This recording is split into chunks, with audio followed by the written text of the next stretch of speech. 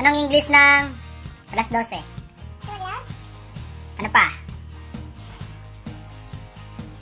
Sa TV.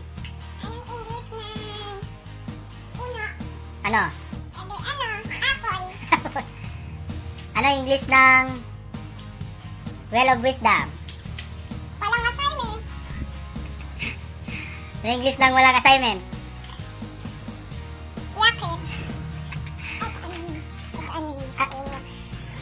Ano English ng jeep? Di... Ah!